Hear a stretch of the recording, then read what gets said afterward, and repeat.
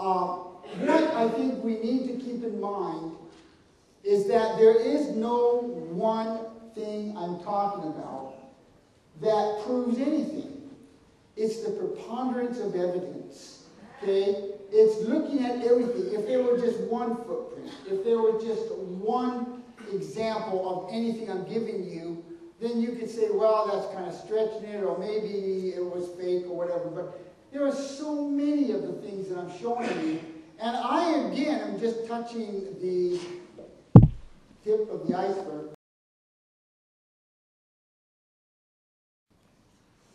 Doris Testerman from Westport, Washington, 1975, finds this item uh, someplace around her backyard area or something, and she goes, Well, that's interesting. This is a piece of a clock and clock parts in solid stone.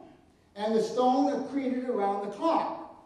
Well, now, what are you going to say? You can look at the stone, you can knock it off, and you can see that this clock part came from someplace around, I think it was some here in Tacoma, as a matter of fact, somebody that manufactured these baby grandfather type clocks and stuff, and here there's this. But you've got stone accreted around that. The evolutionist says that it takes hundreds of thousands or millions of years to form this, this uh, stone and fossilize, but it doesn't. You see, it doesn't. Under the right circumstances, you can fossilize and you can harden and case harden objects quick, very, very quick, but under the right circumstances. This is a very, very rare thing, and it's very rare that Doris Testerman found it. But here, just an example of the fact we know this is a modern clock piece, but if you didn't know that, you would think that this was something that had been fossilized um, hundreds of thousands of years ago.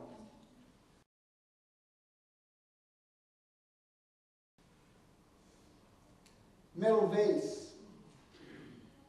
This has been this metallic vase was reported in Scientific American June 1851. In solid rock, dated millions of years old, this vase was dynamited out of a solid rock.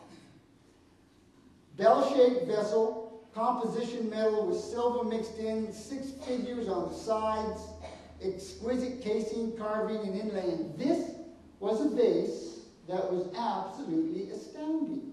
The artwork and the metallurgy and the time spent involved was every bit as good as anything you will see in any of the kings and queens' palaces.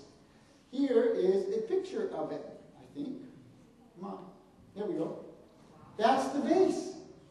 This was found in rock that was dated millions of years ago. You're looking at an antediluvian vase that is now in one of the museums. It hasn't been destroyed, you see. That's what you're looking at. You're looking at a fact that you have a metallurgy beyond what we can do now. We cannot make an iron hammer that's major component is iron and chlorine. We can't do that, but they did. And they have vases and they have works of art that will rival and beat anything that we can do.